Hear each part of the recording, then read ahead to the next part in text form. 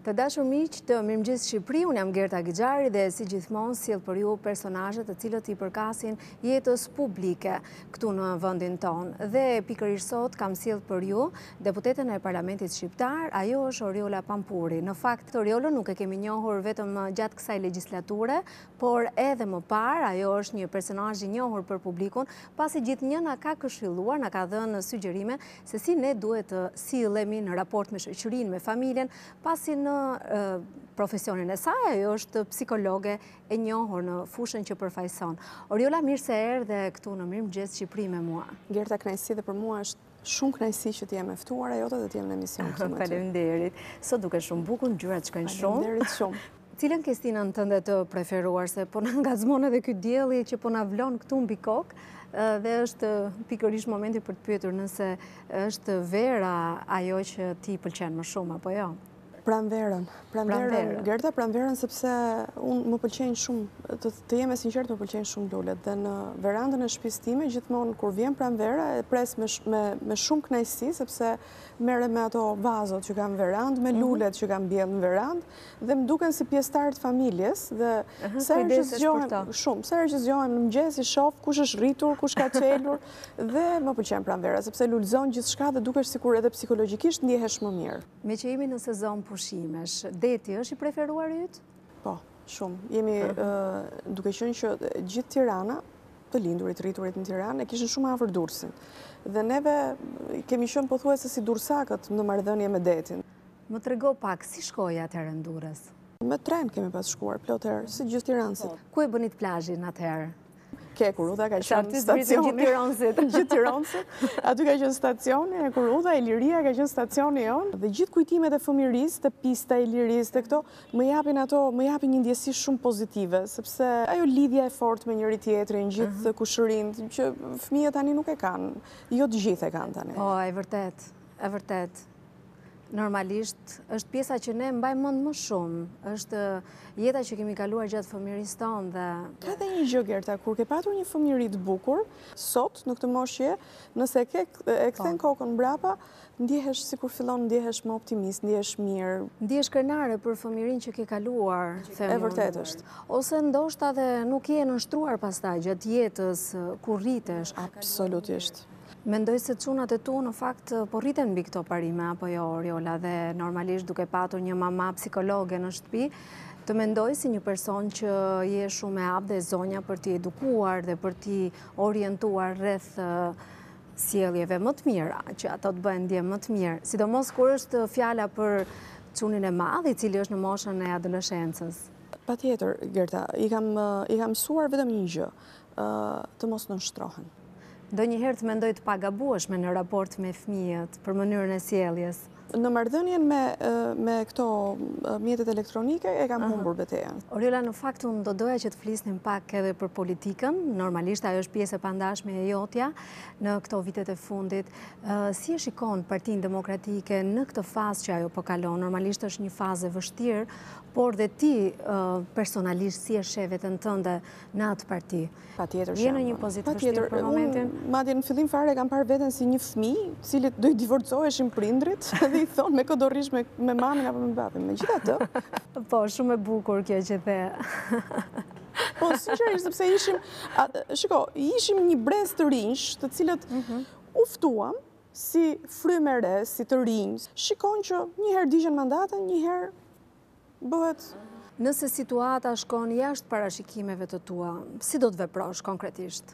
E para njëherë ajo që do të them dhe dua ta theksoj që unë nuk lë më mandat deputeti, sepse është një mandat të cilin e kam, e kam marrë, kam punuar për ta, për ta po. marrë atë mandat, dhe sigurisht janë disa qytetarë që kanë votuar dhe ne nuk mund të largohemi nga institucionet, çdo betejë e bëjmë brenda institucionit, pastaj brenda këtij institucioni sigurisht Do mbaj këtë qasje që kam sot. Do mbaj qasjen pro-amerikane. I bie që ti je e rrezikuar, apo jo? Rrezikuar nga se? Që të mos jesh më deputete e parlamentit të ardhshëm të Shqipërisë. Që në fillim, që në 2017-ën kam parë që sigurisht këtu duan ndryshim, por nuk duan figura të reja. Kur vijnë figura të reja, mezi i kapërdijnë. Dhe mundohen t'i paragjykojnë, të thonë gjëra të cilat nuk kanë lidhje fare me ato figura, të thonë gjëra për njerëz që nuk i njohin. Ju e thatë vetë kur më prezantuat. Unë vij me një, jam profesioniste në fushën time, jam profesioniste e mirë, u bë kaq vite që punoj, kam studiuar, kam, kam përkthyer 5 libra në fushën time, kam 15 vite që jap mësim në fakultet, ndërkohë që kam qenë në sistem shëndetësor, e kam ndërtuar mirë karrierën time profesionale, dhe unë nuk varem nga të qenit ose jo në politikë. E kuptoj. Nëse do mhm. jem, Okej, besoj që do ketë nevojë politika për figura të mira. Nëse politika s'ka nevojë për figura të mira, le të vazhdojë me ata që kanë qenë 30 vjet, vazhdojë të shkojë 40. Është zgjedhja e qytetarëve dhe e politikës gjithashtu. E kuptoj. Unë të kam dëgjuar në disa intervista në fakt që ke folur për marrëdhënien tënde bashkëshortore dhe ke dhënë një shembull të mirë, ke dhënë një shembull pozitiv të një marrëdhënie të ndërtuar mbi dashurinë. Por, doja të dija, Oriola, se cila është ajo pika kyçe që ju mban juve kaq të lidhur midis çiftit?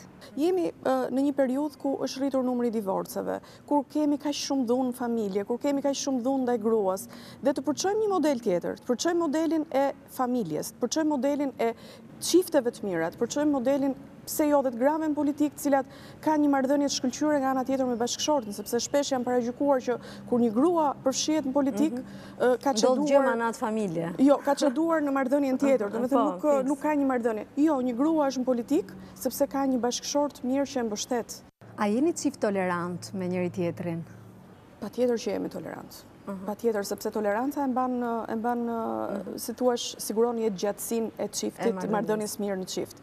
Patjetër që jemi tolerantë, patjetër që kemi, sigurisht kemi dhe ne ato shpesh kur unë jam diku, telefonohemi, jam diku, gjithmonë e dimë se ku është njëri apo tjetri. Pra ideja veç të tjerave, jeni dhe transparentë me njëri-tjetrin. Absolutisht, kjo e mban marrëdhënien qimë. Transparenca në pjesën financiare dhe transparenca në gjithçka tjetër mes nesh, bën që të konsolidojë një marrëdhënie të fortë mes mhm. burrit dhe gruas. Në qoftë se fshihet diçka, në qoftë se unë mbaj të fshehta dhe ai mban të fshehta, pastaj fillon krijohen ato mhm. hendeqe të cilat krijojnë pastaj mosmarrëveshje e tjera e tjera. Mhm. Dhe është dhe kjo tjetra për shembull, kur themi ndonjë gjë, më thotë im bir që do të them, po mos ia thuaj babit. E kam të pamundur që unë mos i them të më Ai e di shumë mirë dhe ia kam thënë që çdo gjë që ti ma thua mua do ta di dhe babi. Nuk ka sekrete mes meje dhe babit dhe ata këtë e kanë fiksuar mirë në kokë. Oriola, a je tip sportive? Jo, Gerta. Fatkeqësisht jo. Jo, këtë s'kam pse ta mohoj. Vishem me tuta në fundjavë, po vetëm kaq, këtu mbetem te tutat dhe atletet, por... Nuk është se meqenëse i ke veshur, ti futësh edhe një vrap për shembull. Jo, s'bëhet fjalë. Kam shumë qejf kur i shikoj koleget e mia që hecin, përdorin bicikletën, bëjnë palestër, do doja shumë, po shumë, sepse mund ta gjej dhe unë kohë, nuk ka asnjëherë arsye të thuash, s'kam kohë, po. jo, koha gjendet, nuk ka dëshirë. Çfarë dëshirash ke, çfarë të lumturon më shumë, le të themi te pasionet e tua, cilat klasifikohen? Unë kam dëshirë të udhëtoj, Gerta, të shikoj vende të ndryshme, të vizitoj vende të ndryshme, Më pëlqen jashtëzakonisht shumë. Besoj edhe kur udhëton, udhëton me bashkëshortin, apo jo? Me bashkëshortin të dy. Biles kemi që dy ditë dy, ama. Po pse jo me shoqet për shembull?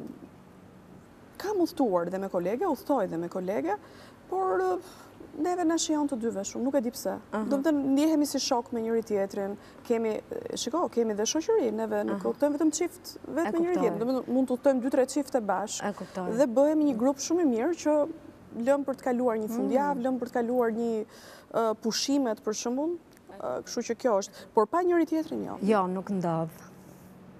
Ok, në fakt doja të dija më shumë për atë dellin tënd të të shkruarit, Oriola, të cilën ti e ke shfaqur në një moshë shumë të re, sepse për të lexuar e dimë që je natyrë që lexon, sepse kjo natyrisht ka lidhje dhe me profilin tënd edhe si pedagoge, Por, ti më the para intervistës që ke shkruar një libër me poezi.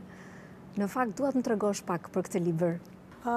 Gerta, unë kam qenë një fëmijë që nuk them jo sociale, se kam patur mikesha, luaja, dilja, po jo shumë, siç dilnin shoqet e mia. Mhm. Dhe kohën time e kaloja duke lexuar, duke shkruar ndonjë poezi, dhe i shkruaja në një fletore. Dhe ç'është e drejta, kur bëra 15 vjeçe, mamaja ime më kishte bërë, domethënë kur të gjithë bënin dhurata gjëra materiale, edhe më kishte bërë dhuratë një libër, që, për, që kishte të gjitha poezitë të përmbledhura në një libër. Dhe, domethënë ajo ka qenë lumturia ime, kam qenë vit i parë po, gjimnaz. Poezi të shkruara, poezi të shkruara nga, nga unë, që sigurisht poezi të shkruara nga klasa e 5, e 6, e 7, e 8, dhe të gjitha të përmbledhura në një libër që u botua në kur unë kam qenë vit i parë gjimnaz në mhm. shkollën e mesme të gjuhëve të huaja këtu në Tiranë. Ka qenë një kënaqësi e jashtëzakonshme. Ndjeja kënaqësi kur shkruaja dhe mhm. shkruaja dhe ia lexoja mamit gjithmonë. Kur mami gatuante, mbaj mend si tani, unë ulesha dhe thoja dëgjo pak. Dhe ajo më thoshte hë shpejt se kam për të... Dhe tani i them, sa e egër ke qenë, pse unë të thoja të lexoj, imagino të të kushtonte goca poezi dhe ti kaloje kështu. Por që, siç ishin nënat atëherë që ishin çikë autoritare, po. që asnjëherë nuk të thoshin bravo, po gjithmonë thoshin, kjo është detyra jote. Megjithatë jemi rritur një brez i mirë dhe them, pavarësisht recetave që japim sot për të mos qenë një nënë autoritare, them që dhe ai autoriteti i nënave tona dikur, sigurisht nuk mohojmë dhe faktin që kemi ca problematika për shkak të asaj po, sjelljes, po, pra, po i kemi rregulluar rrugës. Dhe ai libër ka qenë i fundit apo jo? Libri me poezi ka qenë i fundit, më pas kam vijuar me përkthime. Po.